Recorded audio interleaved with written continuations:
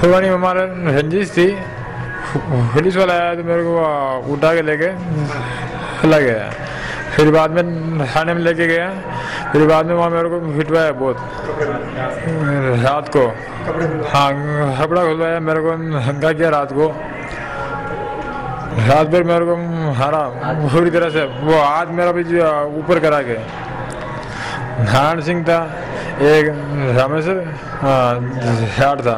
وہ ہاپی تھا حضرت تھا۔ ان کو حیثہ دے کے میرے کو انہوں نے ہیلو شوٹنگ لی میری۔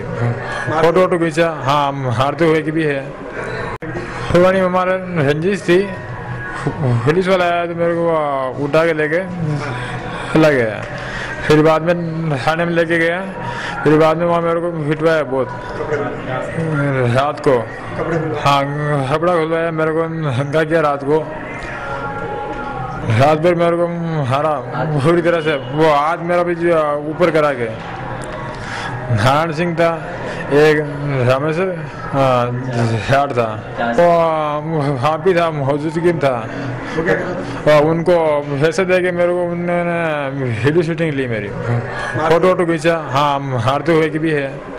دو ہزار اٹھارہ کو پولیس نے اسے ریل منگلہ تھانے میں بلایا اور بلا کر اسے تھانے میں شانتی بھنگ کے معاملے میں بند کیا۔ بند کرنے کے بعد اس کے ساتھ بری طرح سے پٹائی کی لٹ سے اور کوڑوں سے بری طرح سے مار پیٹ کی، جس کے نشان اس اس کی پیٹھ پر آج بھی موجود ہیں۔ اور پولیس نے اس کو اتنی بری طرح سے ڈرا دیا کہ تو ہماری آگے کہیں شکایت نہیں کرے گا۔ اور پریوادی نے بتایا کہ اس ڈر کے مارے اس نے آگے کہیں شکایت نہیں کی۔ اور پولیس والوں نے کہا کہ ہماری شکایت کرے گا تو تجھے استری کے لجا بھنگ کے معاملے میں یا اسی طرح کے کسی جھوٹے معاملے میں ایسا پھنسا دیں گے کہ زندگی بھر تو جیل میں سڑتا رہے گا۔ اس ڈر کے مارے سات دن تک پریوادی اپنے گھر پر ہی بیٹھا رہا۔ اور جب اس نے مجھے پوری گھٹنا بتائی اور اس نے بتایا کہ اتنا ہی نہیں پولیس کسٹڈی کے اندر اس کو رکھتے ہوئے پولیس تھانے میں تھرڈ پارٹیز کا ویڈیو بناتی ہے موبائل پہ۔ ویڈیو بنا کے اس ویڈیو کو پورے وائرل کرتی ہے۔